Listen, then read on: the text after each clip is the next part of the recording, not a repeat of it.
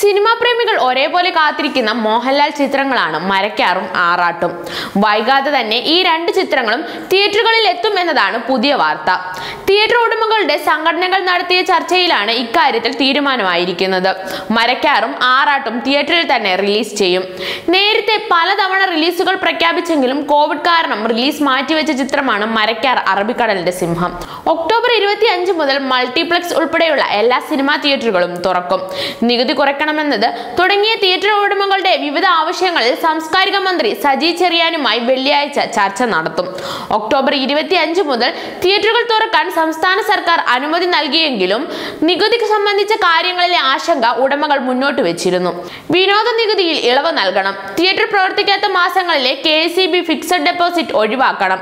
കെട്ടിട നികുതിയിൽ ഇളവ് നൽകണം. തുടങ്ങിയ ആവശ്യങ്ങളാണ് തിയേറ്റർ ഉടമകളുടെ സംഘടനകൾ സർക്കാരിന് മുന്നിൽ ഉന്നയിച്ചത്. ഇതിനായി വെള്ളിയാഴ്ച ചർച്ച നടത്തും.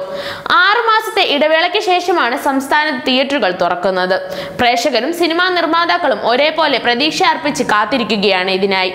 തിയേറ്ററുകളിൽ പ്രവേശിക്കാൻ ആഗ്രഹിക്കുന്നവർ രണ്ട് ഡോസ് വാക്സിൻ സ്വീകരിച്ചവരായിരിക്കണമെന്ന് യോഗത്തിൽ അറിയിച്ചിരുന്നു. അമ്പത് ശതമാനം ആളുകൾക്ക് മാത്രമാണ് തിയേറ്ററിൽ പ്രവേശനാനുമതി നൽകുക.